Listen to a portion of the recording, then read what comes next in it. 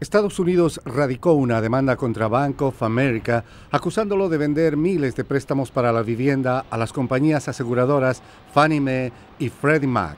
Los préstamos luego cayeron en mora y causaron más de mil millones de dólares en pérdidas.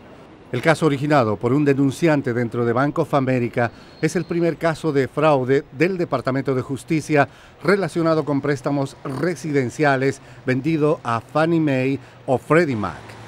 También agrava los problemas el hecho de que Bank of America, el segundo banco más grande de Estados Unidos, ha encarado desde la desastrosa compra en 2008 de la corporación Countrywide Financial, uno de los prestamistas más grandes para viviendas.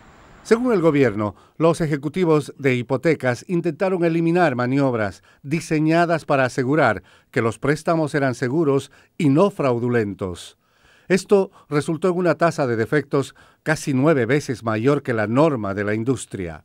Pero Countrywide escondió esto de Fannie Mae y Freddie Mac y hasta premiaron a sus empleados para refutar los problemas que se descubrieron.